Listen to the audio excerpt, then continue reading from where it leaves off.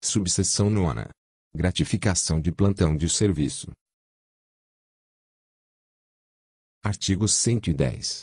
A gratificação de plantão de serviço será concedida para indenizar o servidor pela execução de tarefas inerentes às atribuições da respectiva função, além da sua carga horária normal de trabalho, considerando a natureza do serviço prestado, as atribuições extras e o cansaço físico que o excesso de carga horária impõe. Parágrafo 1 serão remunerados pelo adicional de plantão os serviços essenciais de natureza especializada ou excepcional que, se não forem prestados, poderão provocar prejuízos a pessoas, bens ou serviços de competência de órgão ou entidade do Poder Executivo. Parágrafo 2 o plantão de serviço corresponde à realização do trabalho em horas excedentes consecutivas, por no mínimo 4 e no máximo 12 horas, limitado o seu pagamento mensal, por servidor, ao equivalente a 14 plantões de 12 horas. Artigo 111. Poderá ser autorizada a realização de plantão de serviço, além da jornada de trabalho, nas seguintes condições. Inciso 1. Extraordinariamente, a fim de evitar paralisação de serviço que possa comprometer o desempenho de atividades de competência do órgão ou entidade, Inciso 2. Eventualmente, para ocupação de posto de trabalho vago em decorrência de ausência ou afastamento temporário do titular, visando manter a continuidade da prestação de serviço que não pode prescindir da presença de agente público. Inciso 3.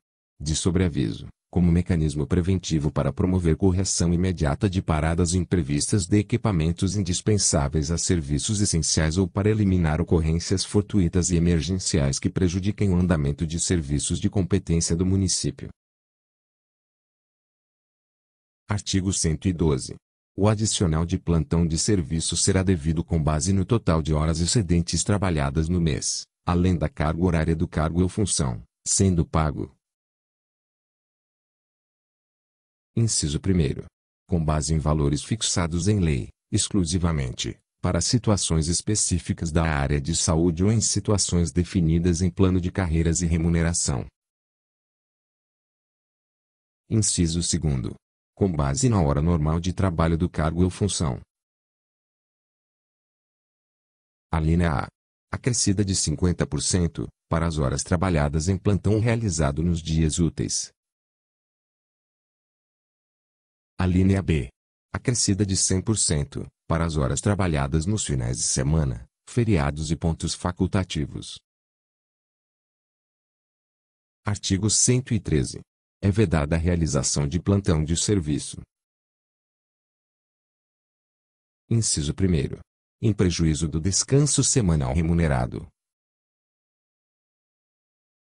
Inciso 2. Por servidor em férias remuneradas.